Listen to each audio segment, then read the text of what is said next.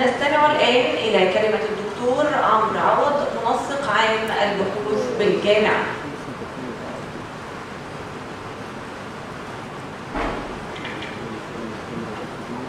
النهارده يوم العلم يوم الحصاد يوم تكريم علماء جامعة المنصورة.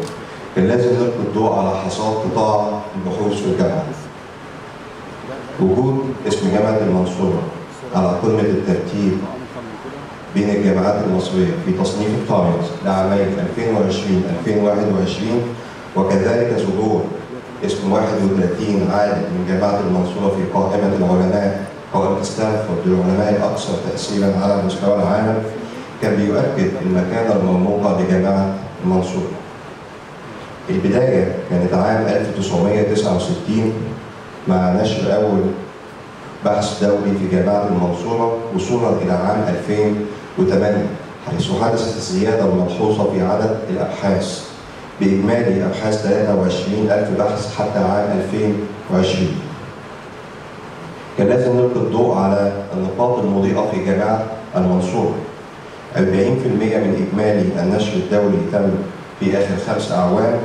17% من النشر في جامعة المنصورة كان في ال top 10% journals أيضا استخدام اسم جامعة المنصورة كمرجع 110 ألف مرة كان بيؤكد مكانة جامعة المنصورة النشر في مجلات ال Nature وال Science 58% من إجمالي النشر في جامعة المنصورة تم التعاون دولي ما بين جامعة المنصورة والجامعات الدولية. أيضا كان لازم نلقي الضوء على المجالات البحثية ونشرها في جامعة المنصورة. 20% من إجمالي النشر الدولي في جامعة المنصورة كان للمجال الطبي، 10% engineering، chemistry، biochemistry، 6% material science pharmacology، 5% computer science mathematics ومجالات أخرى عديدة. ظهور term جديد ال field weighted citation impact ده رقم هو ال total citation لجامعة معينة في مجال بحثي على إجمالي ال citation في نفس المجال البحثي العالمي. الرقم ده بيكون من صفر إلى اثنين لو كان واحد بالظبط يبقى ده بيساوي المتوسط العالمي لو أكثر من واحد يبقى إحنا أعلى من المتوسط العالمي للنشر لو أقل من واحد يبقى إحنا محتاجين نشتغل على نفسنا أكتر. ظهور اسم جامعة المنصورة. في المرتبة الأولى على الجامعات المصرية كان بيؤكد ويعزز قدرة الأداء البحثي لجامعة المنصورة. التمويل المالي كان هو العائق للبحث العلمي لكن مع وجود صندوق بحوث الجامعة عن طريق تمويل مشاريع بحثية أيضا لأول مرة تمويل مشاريع طلاب دراسات عليا حوافز النشر دعم برمجيات بحثية لأول مرة جوائز الجامعة وأيضا دعم معامل بحثيه سبل دعم المعامل البحثية كانت متعددة عن طريق شراء وصيانه أجهزة علمية بنية تحتية وترميم معامل بحثية في الجامعة رحلات استكشافية وخصوصا لمركز المنصورة بالحفريات وأيضا بعثات كشوفات أثرية لكليه الآداب تأهيل ست معامل في جامعة المنصورة للاعتماد الدولي أيضا دعم مكتب التصنيف الدولي عن طريق الاشتراك في قاعدة بيانات ال QS للتصنيف.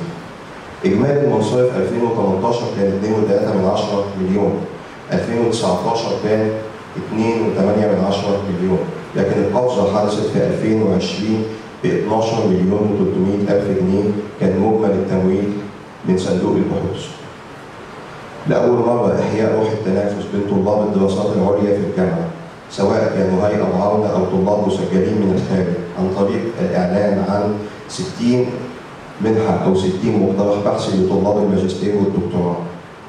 تقدم 187 طالب لهذه المنحة تم الإعلان عن 56 فائز بتمويل 25000 جنيه وتمويل إجمالي مليون ونصف مع دعم وتشجيع الجامعة لقطاع العلوم الإنسانية.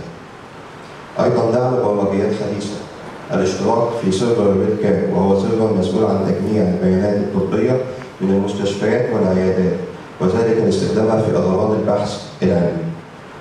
أحد مخرجات منح الماجستير والدكتوراه كان برنامج ال MATLAB كمطالبة عدد من طلاب الجامعة الاشتراك في برنامج ال MAT لاب وهو برنامج يستخدم في عمليات البرمجة والذكاء الاصطناعي لكن كان العائق أمامنا هو سعر البرنامج سنويا 55 ألف دولار لكن بعد مداولات مع الشركة تم الموافقة على سعر البرنامج 10000 دولار فقط وأصبح متاحا لكل طلاب وأعضاء هيئة التدريس في الجامعة باستخدام الإيميل الشخصي. على مدار الوقت كثير من التعديلات حدثت على لائحة جوائز الجامعة أهمها عام 2021 لأول مرة مكافأة النشر لطلاب الدراسات العليا سواء هيئة معاونة أو طلاب مسجلين في الخارج في مجلات ال Q 1 وال Q 2 أيضا إقرار الجامعة بتحملها تكاليف النشر لكليات العلوم الإنسانية في حالة النشر الدولي. إقرار مكافأة للنشر في مجلات شنغهاي excellence journal مقدارها 40000 جنيه. تقسيم جائزة أعلى معدل استشهاد لخمس جوائز حتى تتناسب مع المجالات البحثية المختلفة. 100000 جنيه هي قيمة جائزة النشر في مجلات ال Nature Science ال humanities أيضا تمويل مشاريع بحثية. 2018 كان إجمالي التمويل 3 مليون جنيه. 2019 1.7 مليون جنيه. 2020 كان 5 مليون جنيه. 2020 التي أطلت علينا بوجهها القبيح. كورونا فيروس اللي أوقف كل سبل الحياة لكن جامعة المنصورة فتحت معاملها وأعلنت عن تمويل خمس مشاريع بحثية بإجمالي تمويل مليون ونصف ما بين إنتاج أجهزة تنفس صناعي وأيضا تجارب سريرية ودوائية. كان لازم مكافأة أعضاء هيئة التدريس الجادين. إجمالي حوافز النشر العلمي 2018 مليون جنيه، 2019 10 مليون جنيه، 2020 14 مليون جنيه. جينا لوقت الحصاد.